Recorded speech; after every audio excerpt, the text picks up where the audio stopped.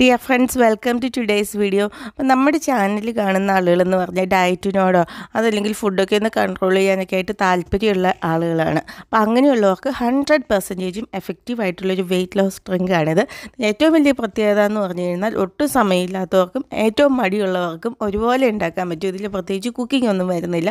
ഒരൊറ്റ സെക്കൻഡ് വെച്ചിട്ട് നിങ്ങൾക്ക് ഈ സാധനം ഉണ്ടാക്കാൻ പറ്റും. അപ്പോൾ നിങ്ങൾ വീഡിയോയിൽ കാണുന്ന പോലെ തന്നെ ഞാൻ ഒരു നുള്ള് മഞ്ഞൾപ്പൊടി എടുത്തിട്ടുണ്ട്. അപ്പോൾ ഇത് ഓർഗാനിക് ആയിട്ടുള്ള മഞ്ഞൾപ്പൊടിയാണ്. നിങ്ങൾ അങ്ങനെ തന്നെ എടുക്കാനായിട്ട് ശ്രദ്ധിക്കുക. കടയിൽ നിന്ന് വാങ്ങിക്കുന്ന മഞ്ഞൾപ്പൊടിക്ക് എന്താണ് ഉള്ളതെന്ന് നമുക്ക് പറയാൻ പറ്റത്തില്ലല്ലോ. അപ്പോൾ അതുകൊണ്ട് അത് അവോയ്ഡ് ചെയ്യുക.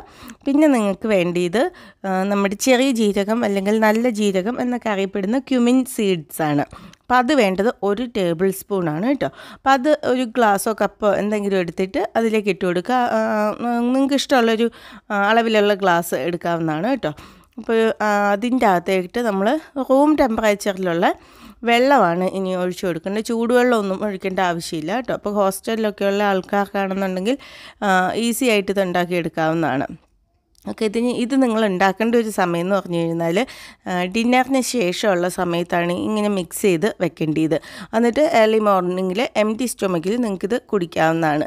ഇനി നിങ്ങൾക്ക് രാവിലെ ഇങ്ങനത്തെ ഡ്രിങ്കുകളൊക്കെ കുടിക്കാനായിട്ട് താല്പര്യപ്പെടാത്ത ആളാണെന്നുണ്ടെങ്കിൽ നിങ്ങൾക്ക് രാവിലെ എണീക്കുമ്പോൾ ഇത് മിക്സ് ചെയ്ത് വെച്ചിട്ട് രാത്രിയിൽ ഡിന്നറിന് ശേഷമാണെങ്കിലും കുടിക്കാവുന്നതാണ്. കേട്ടോ എങ്ങനെ ചെയ്താലും എഫക്റ്റീവ് ആയിരിക്കും.